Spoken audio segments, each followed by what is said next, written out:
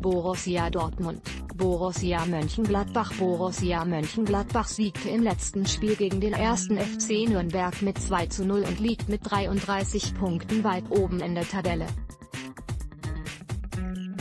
Borussia Dortmund weist in dieser Saison mittlerweile die stolze Bilanz von 12 Erfolgen, 3 Punkteteilungen und keiner einzigen Niederlage vor.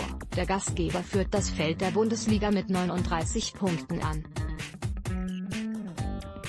Die Elf von Trainer Lucien Favre kann die nächste Aufgabe optimistisch angehen, auf eigenem Platz wusste man bislang zu überzeugen. 7-1-0, nur dreimal gab sich Borussia Mönchengladbach bisher geschlagen. Der Gast holte auswärts bisher nur 9 Zähler. Die Zuschauer dürfen auf viele Tore hoffen. Beide Mannschaften gehören, mit einem Schnitt von über zwei Toren pro Spiel, zu den offensivstärksten der Liga. Die letzten sechs Spiele hat Borussia Dortmund alle gewonnen und ist in der jetzigen Form sehr schwer zu bremsen.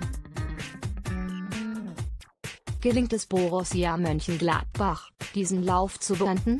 Hier treffen die beiden torgefährlichsten Mannschaften aufeinander. Dortmund erzielte bisher 41 Tore, während Gladbach das Leder 35 Mal im gegnerischen Netz versenkte.